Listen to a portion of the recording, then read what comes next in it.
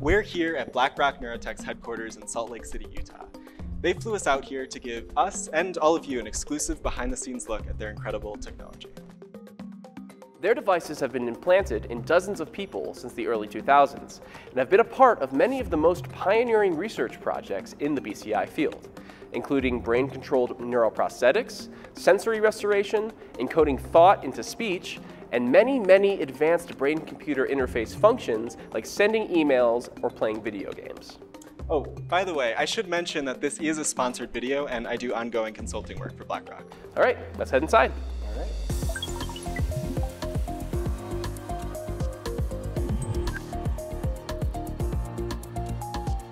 The story of BlackRock Neurotech really has been the story of the brain-computer interface industry more broadly, at least for implantable devices. BlackRock's flagship device, the Utah Array, has been at the core of many of the greatest advancements in the field to date.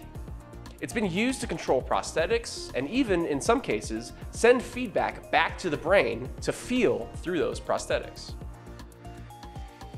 It's been used to control advanced computer applications like making digital art and playing video games, and has restored patients' ability to communicate and speak through a computer, all just through thought.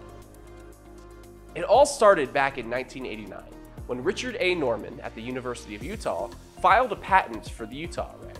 The Utah Array was game-changing, as it allowed neuroscientists to reliably collect neural signals in three dimensions for the first time. By the late 90s, neuroscientists had realized the Utah Array's potential as a BCI device, and were already using it in primates to move a cursor. This development was a watershed moment that proved that this type of device was possible. Primate research continued to prove increasingly better capability and safety. In 2004, another milestone was achieved. As a volunteer in the newly formed BrainGate project, which would go on to be one of the leading BCI developers, Matt Nagle became the first person to have a Utah Array BCI implant.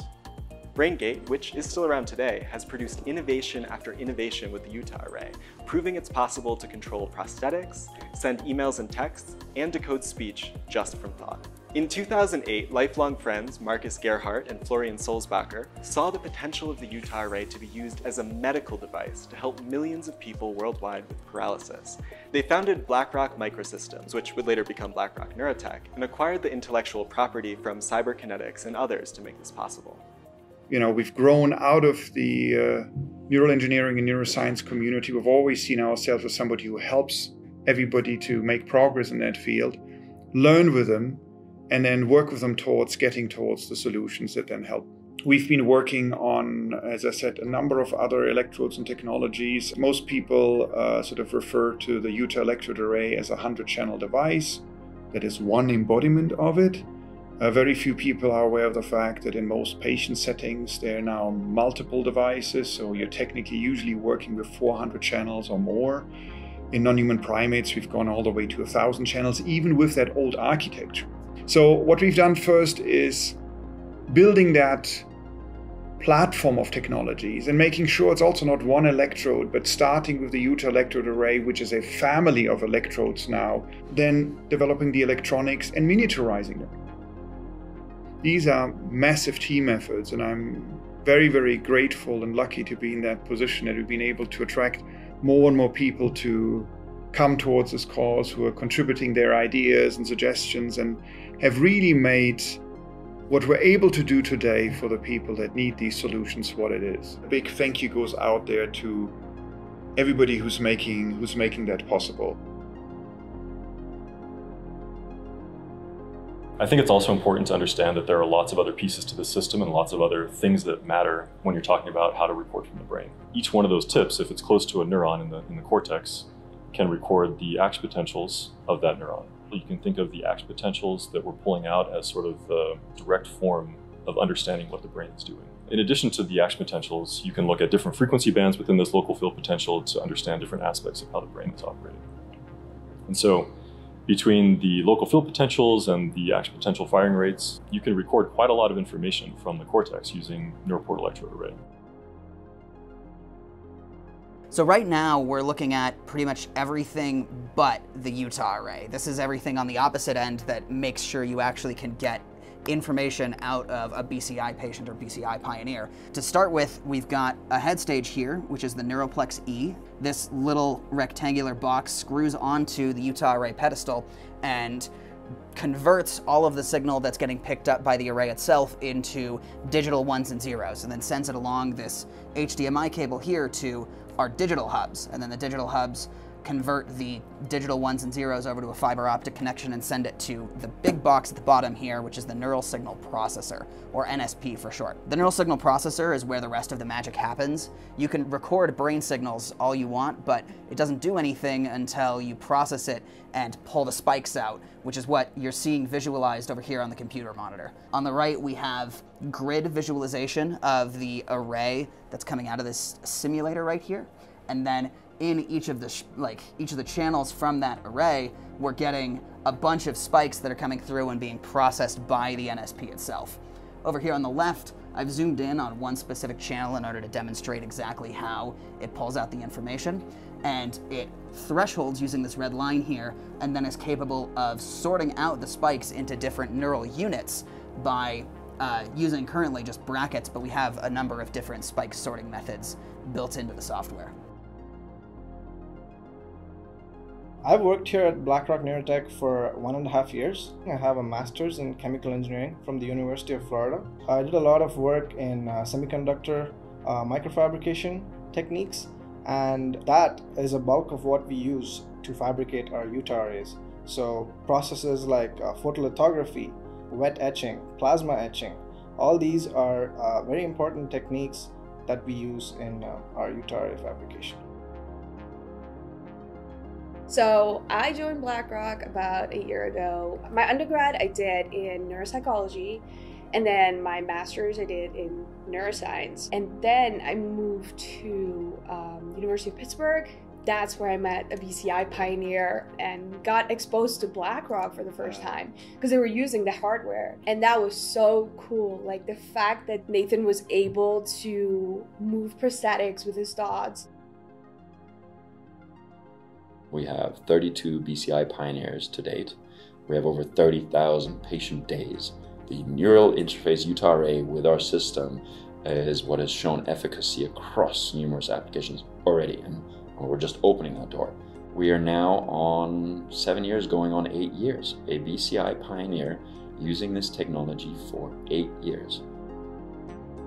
When we started this, I remember distinctly 2008 meeting with researchers, and they said, this is not going to work. Well, it's worked for eight years in human patients. It's worked for over 10 years in non human primates. We've proven that this can work for that period of time. Just that network of neuroscience actors from researchers to participants and researchers you know across the board from the established PIs to your postdocs to our that network we've been in for over a decade We've been servicing that network with tools to do foundational science all the way to translational science. And so, uh, and, and we're extremely grateful to that community. That community has made us strong. Their ideas, their input, their continued drive to push science forward. Our focus is on concrete applications with patient care in mind.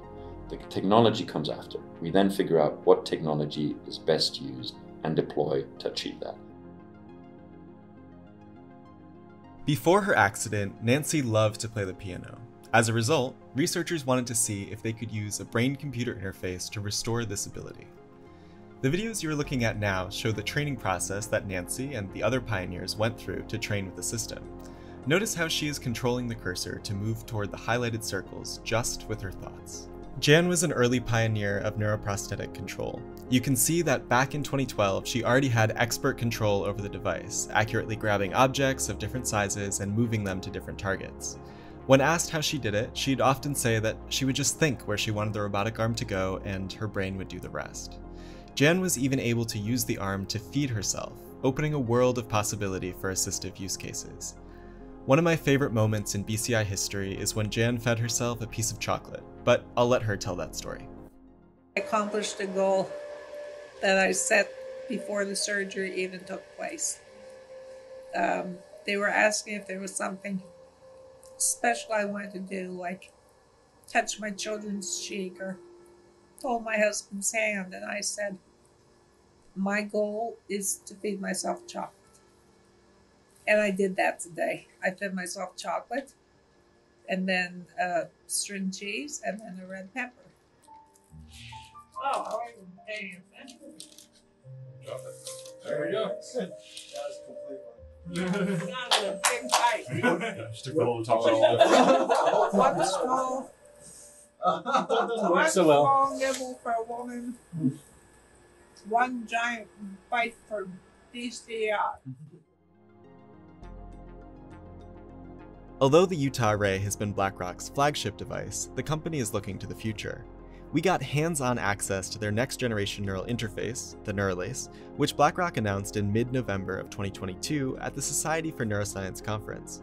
The implant is a flexible hexagonal mesh that conforms to the surface of the brain.